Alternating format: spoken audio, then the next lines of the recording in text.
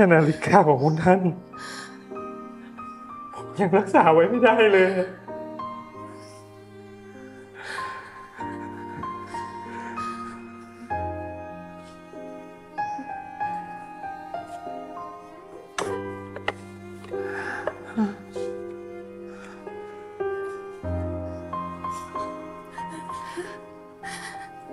พ่อเอาไปเก็บให้เองนะลูก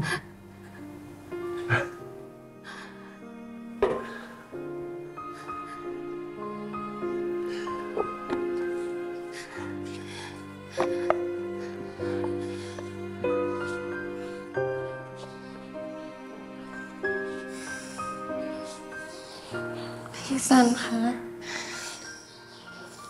หนูหนิงเชื่อนะคะ ว่าพี่ซันไม่ได้เป็นคนทำหนูหนิงพยายามช่วยแล้ว แต่หนูหนิงไม่รู้จะช่วยพี่ซันยังไงค่ะถ้าคุณหนูช่วยผมไม่ได้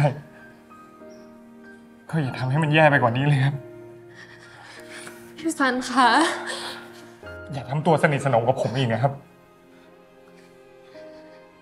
เราไม่ใช่เด็ก ๆ แล้วนะครับ คุณผู้หญิงไม่ชอบคุณหนูก็รู้ ผมยังอยากเรียนให้จบ พ่อผมก็ยังต้องการงานทำเราสองคนยังต้องการที่ซุกหัวนอนนะครับ คุณหนูควรจะเข้าข้างคุณผู้หญิง อย่าออกรับแทนผมอีกถ้ายังอยากเห็นเราสองคนอยู่ในบ้านหลังนี้ต่อ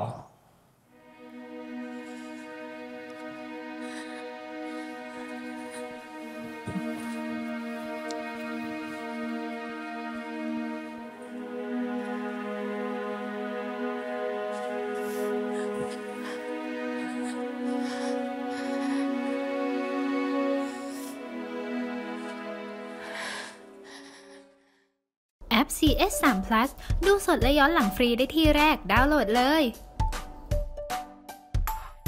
ไม่อยากพลาดละครสนุกกด subscribe ไปไว้นะคะ